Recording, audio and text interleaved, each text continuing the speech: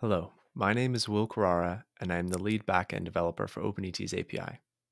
In today's video, we will be signing up using OpenET's new user management system and creating our first API key. First, we'll need to open up our browser and visit account.etdata.org. Once here, click Create Account in the upper right-hand corner.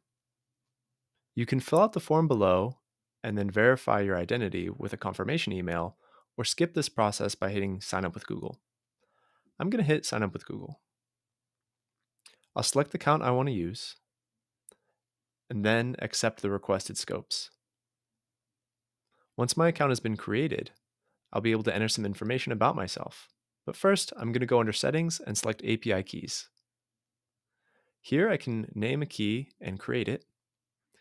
Each key is tied to your account, and every key has a one year expiration date and you can hit view to see this key and copy it to your clipboard.